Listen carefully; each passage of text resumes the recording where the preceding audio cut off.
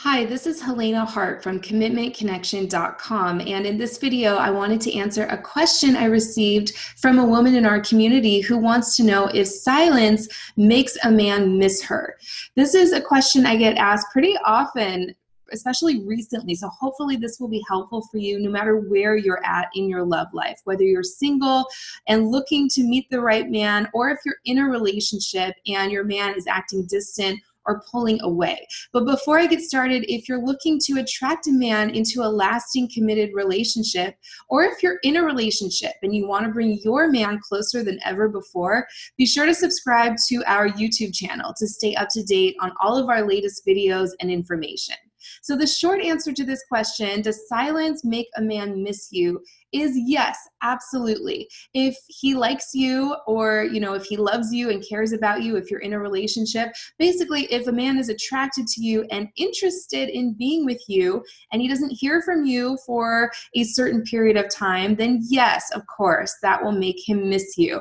But I do want to mention that, you know, all of my tools and everything I teach all hinges on authenticity. So I would never recommend pretending that you're busy or playing hard to get in an attempt to like make a man feel something or get him to do something. You know, all of those games and strategies, they might get you a short term result, but they'll never get you the permanent, lasting results that I know you're looking for in your love life. So, being authentic and having this just be a part of who you are is so important to attract the man you want and just keep his energy coming towards you continually. So basically you want to have a full complete life outside of a man and just radiate out who you are as a person. And that will really attract that man towards you if he's the right man for you. But if a man you know texts you or he calls you he initiates contact in some way i would say absolutely go ahead and respond to him whenever you're available. A lot of coaches might say wait a few hours or even a day or wait till the next day so you don't seem too eager but that can really cut off that momentum I've found. So if a man shows up and he contacts you, I'd say go ahead and respond to him.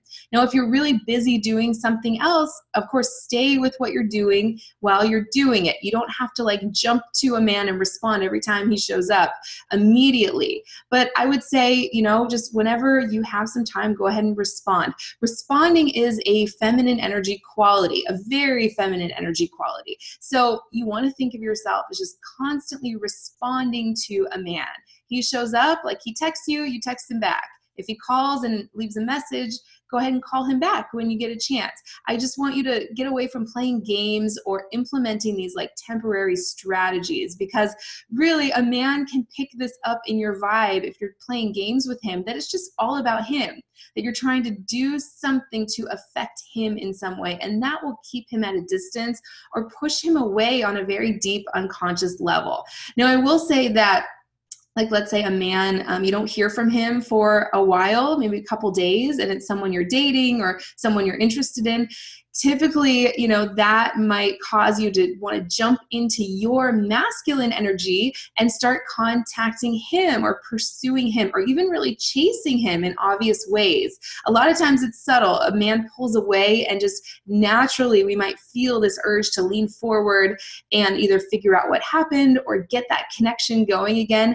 And that's where women can run into trouble because that energy of us jumping into our masculine energy and just kind of trying to get the connection back or push things forward or move the relationship along, that will uh, cause a man to lose interest or lose attraction for you on a very deep unconscious level. He might not be able to put his finger on it, but he might just feel uh, his desire to pursue you fading away or shrinking a little bit. So you want to make sure you're always in your feminine energy and not play games, you know? And the key is really just having a full life outside of him. So um, you're not always available every single time he you know asks you out or contacts you. And of course it has to be authentic. So you want to just build this complete life outside of him.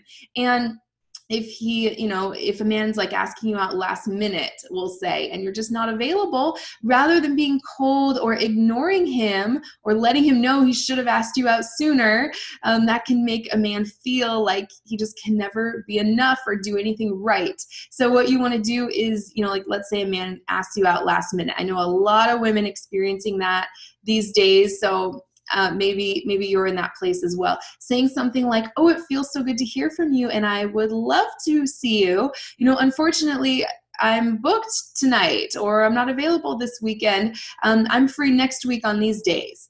And you know just that will keep his energy coming towards you if you're not immediately shooting him down or ignoring him or acting cold towards him. So you want to think of everything in terms of space and softness. I think i talk about space and softness a lot in some of these videos. And uh, it's basically, you know, staying in your feminine energy. You're creating space for him to come towards you. That means you're not um, actively pursuing him and chasing him and always being the one to initiate contact. You are staying out of your masculine energy and stepping into your feminine energy that creates the space for a man to come towards you.